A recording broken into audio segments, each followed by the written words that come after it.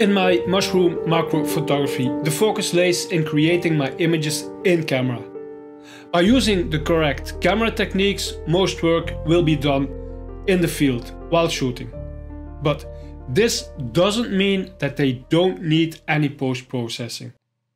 While the majority of the work takes place during the actual shoot, these images still benefit from slight adjustments.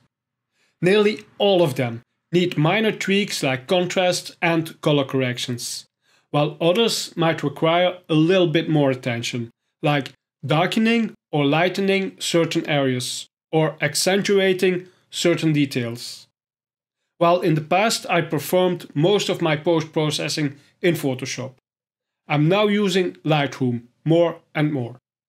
Since its possibilities to do local adjustments have improved significantly. And I still use Photoshop as it gives me more freedom, but for this example here, I'm going to use Lightroom. Okay, let's dive into it. This is the little mushroom that we're going to edit. I used the leaves in front to create a blurry foreground. And at the back, you have some out of focus grasses and some distant trees that are also out of focus. The curve of the oak leaf and the various triangles within the frame result in a beautiful composition. The image is shot at an aperture of f3.5 and the whole mushroom cap is in focus, asking all attention. Now, when we have a look at the histogram, we see that it has a good exposure, but there's still some room for improvement. So I start by raising the whites. When tweaking the contrast, I always click on J first. Now all overexposed and underexposed areas will be shown. The overexposed areas will be red, while the underexposed areas will become blue. So I set the contrast, but I try to avoid under or overexposure. The red area you see here is overexposed, so I tone down the whites just a little bit. I lower the highlights a little bit and I open up the shadows. The blacks I also lower just a little bit and and I raise the texture and the clarity just a little bit. Now, in my opinion, this is the bare minimum post-processing that this image needs. Setting basic contrast. But I like to take it a little further. I'm going to do some local adjustments. So I select the radial gradient tool over here. This area here up front is far too bright and draws all attention. So I lower the highlights and the whites for this area. I create a radial gradient with the feathering about halfway and covering the whole area. Now I'm going to darken it. By darkening it like this, we can create some more depth in the image. Now we have a darker area here up front while the light at the back draws our eye into the scene. It's already a big improvement. Then I want some more attention on the mushroom itself. You could try to use another radial filter, but here I'm going to do it differently. I'm going to create a filter for the subject itself. I'm going to create a filter for the mushroom. I click here on select subject and Lightroom now selects the mushroom, but also part of the leaves in front of it. Now, I want the mushroom to stand out a little bit, so I let it pop by lowering the blacks. I like what it does to the mushroom, but not to the leaf, so I'm going to adjust the selection. With the mask active, I click on the minus here, and I select the brush tool.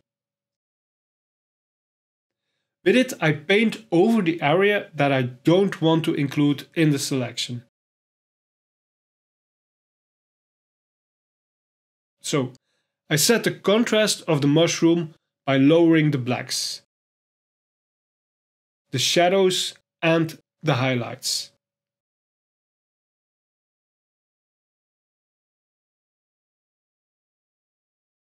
and I add some detail by raising the texture and the clarity, just a little bit. Not too much. Some fine tuning. Okay, that looks better. I'm going to bring some extra light into the image. I select the radial filter again and I set it in the right upper corner. The feathering I set real high and I raise the exposure just a bit. As you can see, it also affects the mushroom.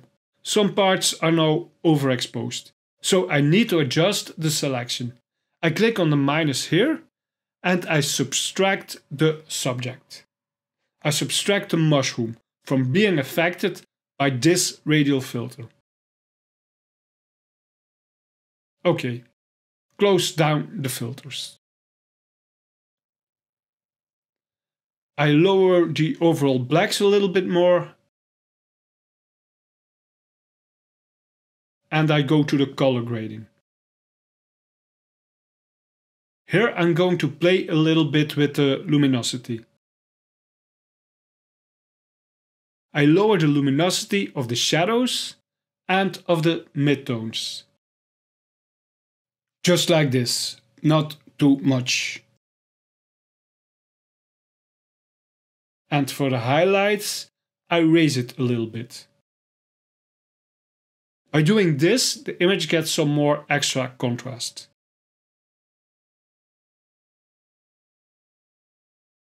Now I would like to create some extra vignetting. I could do it for the whole image, but these areas over here at the bottom and here at the upper left corner will then get too dark, so I do it differently. I'm going to create some extra radial gradients. Quite big, and with the feathering real high. I place it here at the edge, where I want to darken it. Now I lower the exposure to darken this edge a little bit. And I create another radial filter for the opposite side here. And I lower the exposure.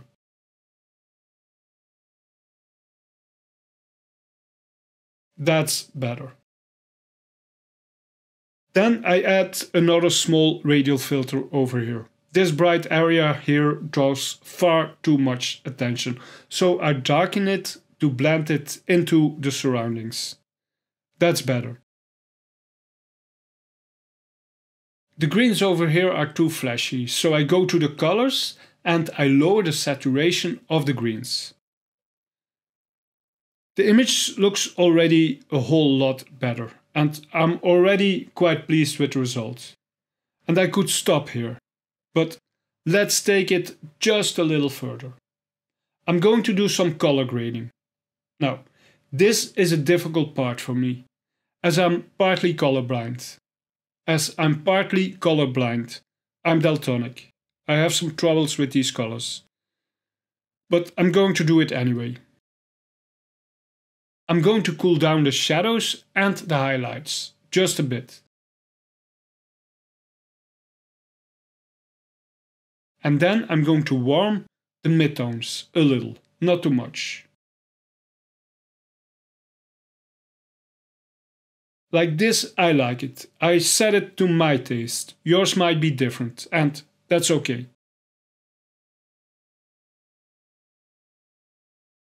I lowered the greens a bit more. Have a look at the texture, the clarity and the dehaze. Just some small adjustments, not more.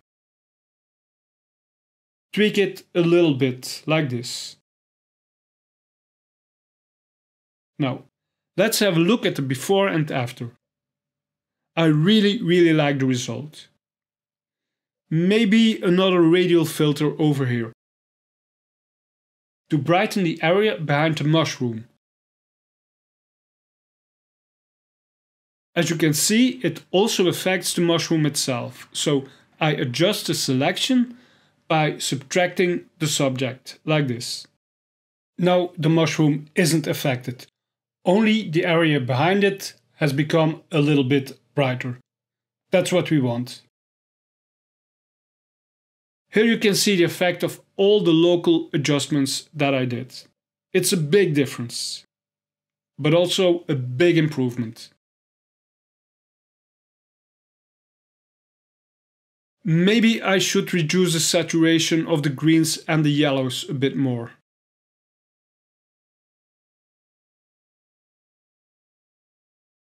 Okay, that's it. The image is finished for me. I really, really like the result.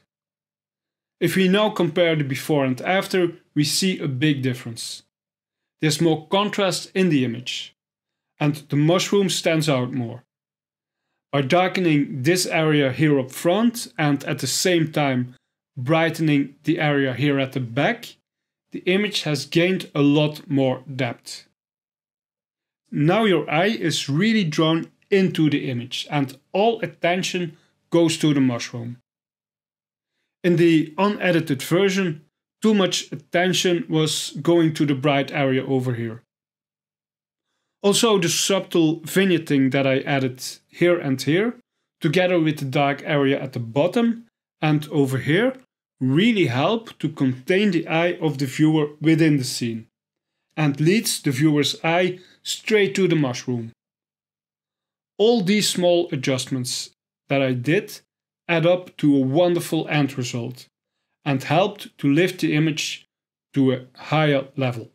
If you want to learn the in-camera techniques to create this kind of soft focus images, then click the link below. And don't forget to click the subscribe button. With your support I can create more of these videos learn to look at the world through different eyes. I wish you a lot of fun creating wonderful pictures